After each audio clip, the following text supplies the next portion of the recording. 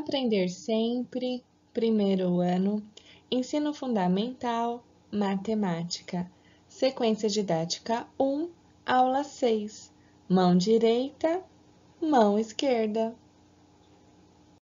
Aula 6, mão direita, mão esquerda. O que vamos aprender? Nesta aula, vamos indicar a localização de objetos no espaço. Número 1. Juliana disse que vai colocar o dado em uma das mãos de João Pedro e que ele deve dizer em qual das mãos está, na direita ou na esquerda. Observe as ilustrações e responda se o dado se encontra na mão direita ou na mão esquerda de João Pedro. Então, aqui na letra A, nós temos o dado na mão de João Pedro. Está na mão direita ou na mão esquerda? Vocês vão analisar. Letra B. Nós temos aqui o dado na mão de João Pedro. Está do lado direito ou do lado esquerdo? Letra C. Nós temos o dado nesta mão. Está do lado direito ou do lado esquerdo? Letra D. O dado está na outra mão, está do lado direito ou do lado esquerdo? Vocês irão observar e responder, tá certo? Então, olha só, vamos para uma dica, tá certo? Mara está fazendo ginástica. Marque nos dois quadros um X na mão direita de Mara. Então, aqui, Mara está de costas. E nesta outra imagem, Mara está de frente para nós. Qual é a mão direita e qual é a mão esquerda de Mara?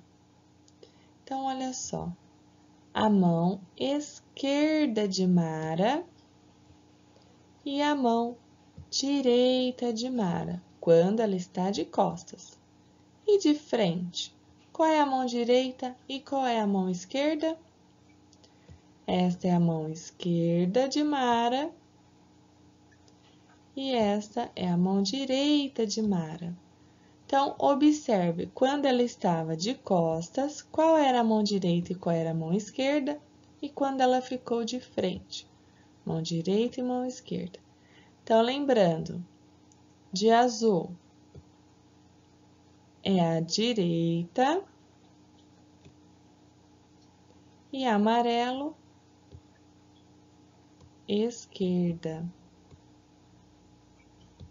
Então, vocês observem, isso irá ajudar vocês a responder as atividades. Vamos lá?